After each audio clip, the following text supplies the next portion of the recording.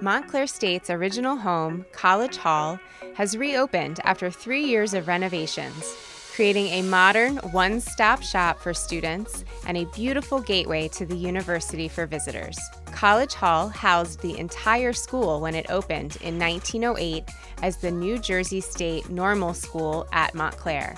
Its mission revival style architecture set the standard for campus.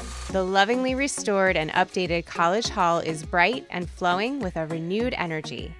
The building is certified LEED Gold, a globally recognized symbol of excellence in green building. Red Hawk Central, the university's one stop shop for student services, is one of the many resources located in College Hall. Prospective students and their families enjoy a more streamlined process in the new undergraduate admissions office. And you can now grab a bite to eat at the newly opened Panera Bread. The new College Hall is the physical embodiment of a university on the rise, a university that has been elevating the hopes and dreams of students for more than a century and that will continue to soar with them for years to come.